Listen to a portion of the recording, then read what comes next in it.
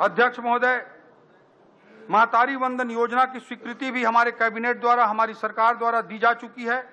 एक मार्च सन 2024 से योजना के तहत पात्र महिलाओं को बारह हज़ार रुपये वार्षिक का भुगतान किया जाएगा। मोदी की यह गारंटी को हम पूरा कर रहे हैं।